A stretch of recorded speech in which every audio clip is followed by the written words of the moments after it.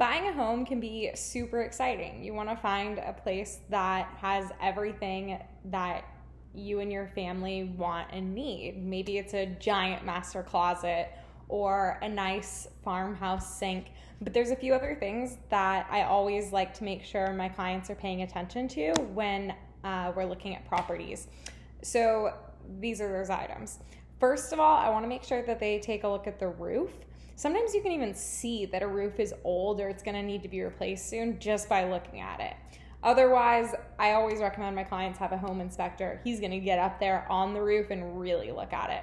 But a roof can be a big ticket item if you need to replace it. The other thing is an HVAC system. Uh, AC is really important in, in Austin. You know, it's it's cold outside right now, but in the summers it gets pretty hot and you need an AC that works and an AC is is expensive to replace. So you want to take a look and see how old that system is. It's actually pretty easy to do. Usually you can just find a, a label from the manufacturer on the on the uh, compressor and it'll tell you a model number, a serial number. Usually you can just Google that serial number and it'll be a code for the month which it was uh, created. So that's really easy trick right there.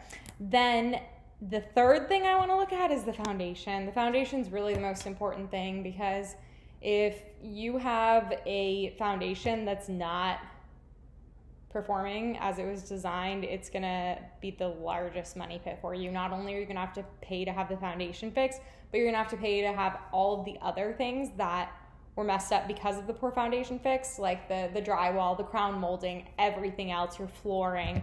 So that's something else I'm definitely going to make sure we take a look at. I'm going to look and see if there's exterior cracks along the foundation um, from the outside of the home and, and look at any cracks on the inside as well. If I see something that looks a little worrisome, that's definitely something, you know, we're going to get a second opinion from the inspector on.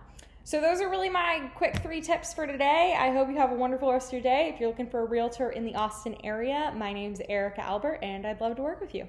Thanks.